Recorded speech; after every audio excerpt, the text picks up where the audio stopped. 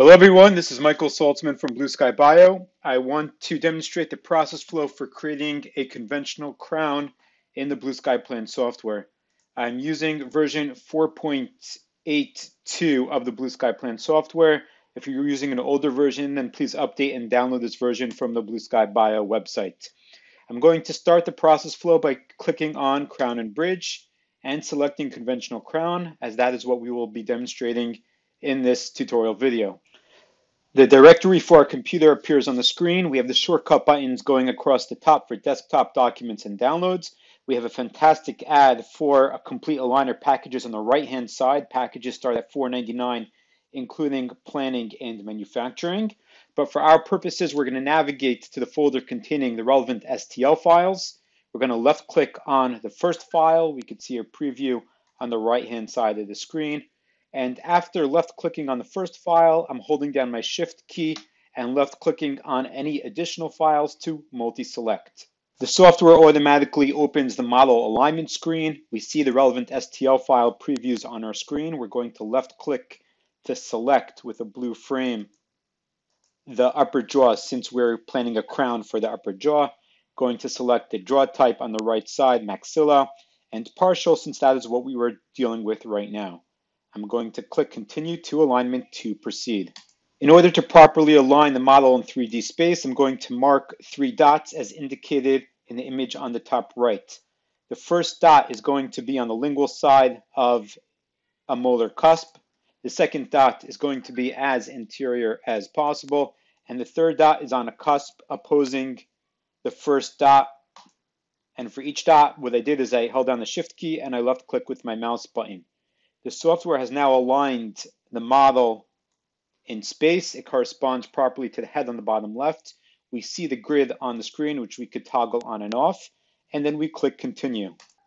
On this step, we could modify the exact placement the exact placement and alignment of the model if needed using the widget and using the arrows. I'm able to grab with my left mouse button and rotate in space.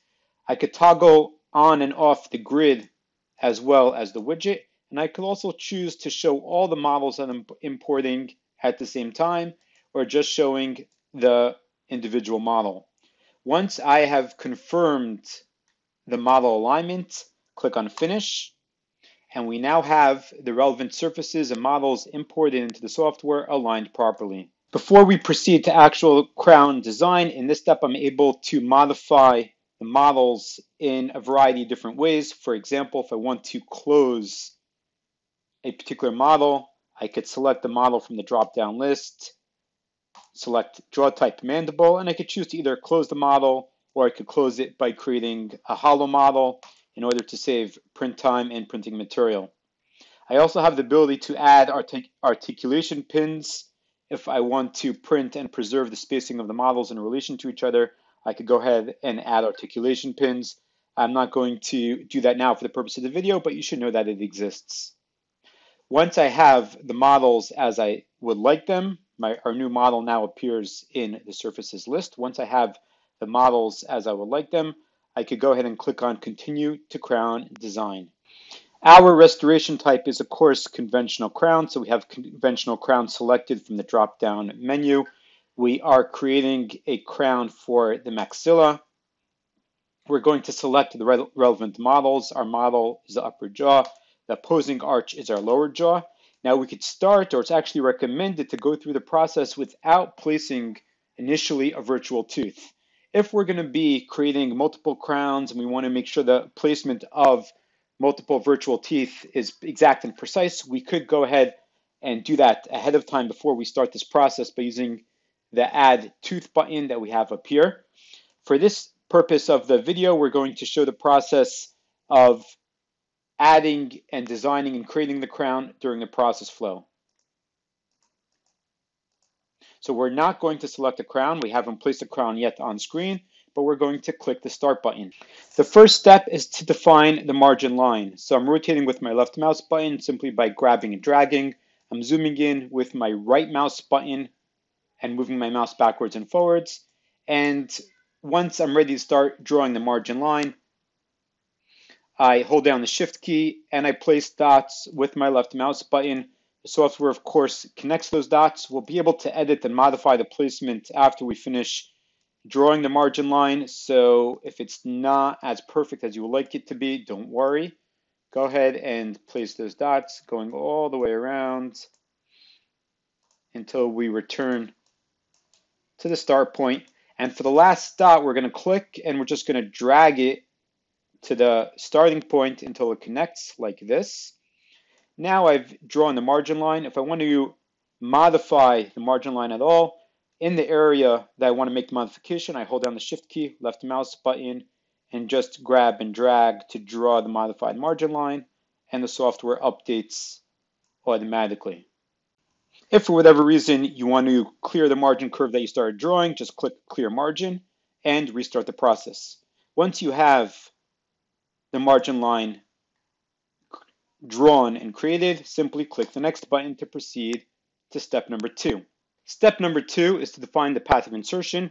You could do this either by, by manipulating the arrow on the screen or by rotating the view and then clicking set insertion direction from view.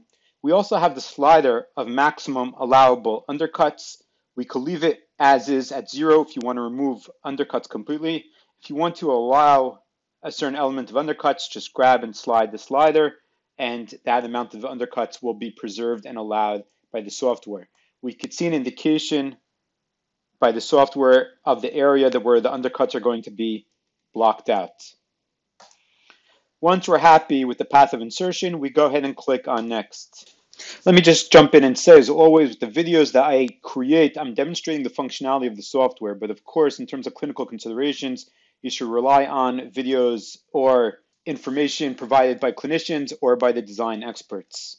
Okay, in step number three of six of the process flow, we're going to define the proximal area.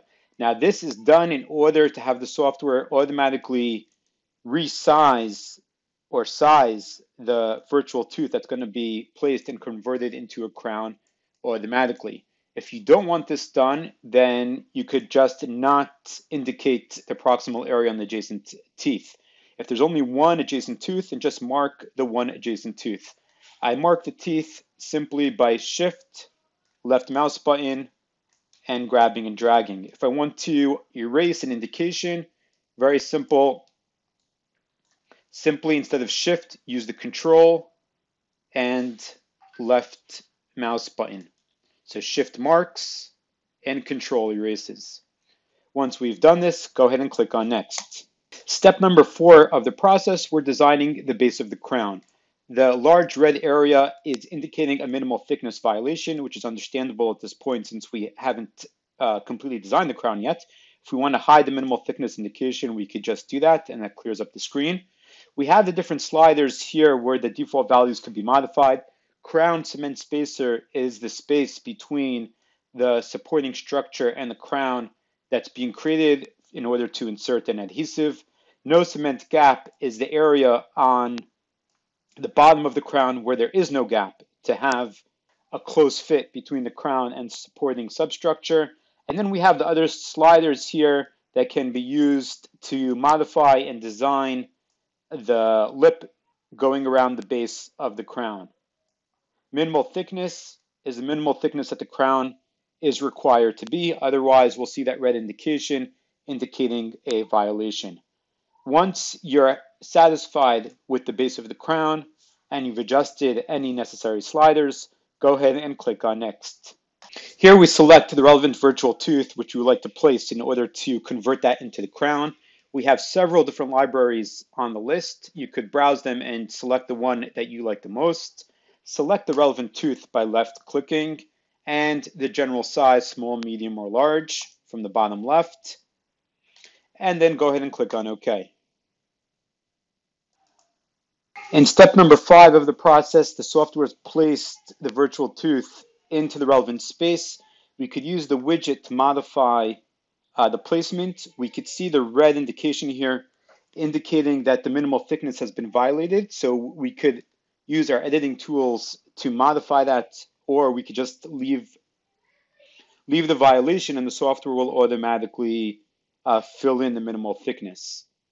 The editing tools that we have in terms of resizing is we could add remove material. As usual, shift and left mouse button will add material, while control and left mouse button will remove material. So we could see that uh, as we add material here, the area of the minimal thickness violation disappears. For every tool, we have the tool size, which is the size of the area being affected, and the tool strength, which how much change happens each time you use the tool. So you could use the sliders to modify that. We have a smooth tool, which could be used to smooth out surfaces, and a local deform, which allows you to grab and drag or and modify and stretch any part of the tooth. So it could either be used to modify a very particular section or particular cusp, or you can make the tool size much larger, grab a much larger area, and for example, here where we have the violation, a quick way of kind of keeping the tooth shape intact and just stretching the tooth in a particular direction to deal with minimal thickness violations. At this step, it's also helpful to know that you could turn on the opposing jaw. You could see how it interacts and uh, touches, even though in the next step, we're actually going to be resolving the collisions. For example, here, we could use our add remove tool, use the shift key, or sorry, use the control key to remove a little bit of uh, material if we like, and to deal with some of the contacts. Once we're happy with the shape and design of the tooth, we're going to click next to take us to the next step where we could deal with collisions. We could see on screen that we have this brighter red, which is showing us our collisions and our intersections, and the darker red showing us the minimal thickness violation. So once again, we could use the tools that we have here if we want to modify the shape of the tooth. We have two checkboxes that if we want the software to automatically subtract out occlusal and or proximal intersections, we could just leave the checkboxes checked the software will do the subtraction to make sure to remove the intersections. If we want to, to solve the issue or modify the tooth design, we could use the editing tools similar to what we had before. So we could add some material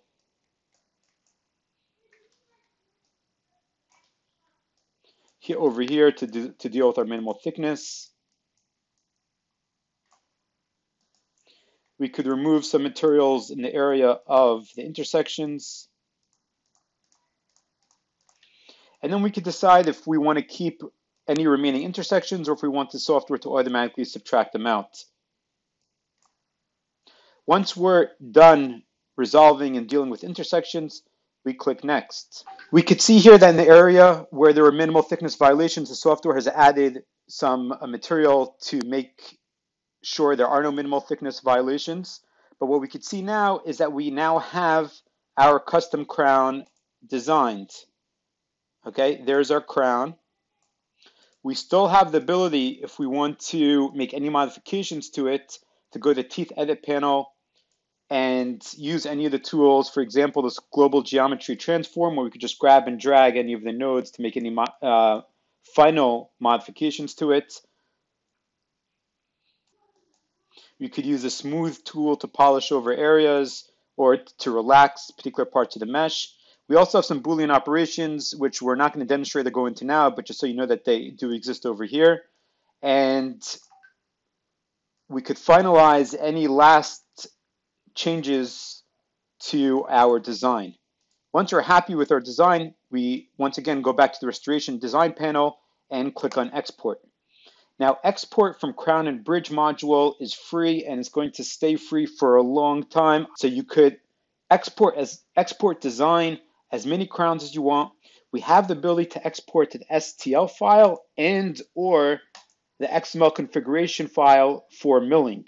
So the crowns could be exported as an STL for 3D printing XML configuration file could be used for milling the crowns. And on this screen, you could decide exactly which surfaces or what you're going to be exported, what you're going to be exporting. If you're going to be exporting more than one thing, we have the export separated files to a folder that's automatically activated and checked since we're going to be exporting um, multiple items. If for whatever reason you want to export, let's say two STL files, but have them exported as a single STL file, then you could select multiple STL files for export and uncheck the export separated files to a folder button, but that's a bit of a tangent. We're not uh, dealing with that right now. So for our purposes, we're going to export the STL file to give us the option for printing. We're going to export the XML configuration file, so we have the option for, for milling, and then we click on the export button. The software asks for the location where you want to save the exported files. I'm going to click on desktop, new folder, uh, export uh, test, and then go ahead and click on OK. When I when I navigate to the folder on the desktop, I see once again that we have the STL file that's been exported from the software, and we have our XML configuration file that could be used for milling. So as I mentioned, exports from Crown and Bridge is completely free. You can do as many crowns as you like, as many bridges as you like, export them, mill them, and or print them.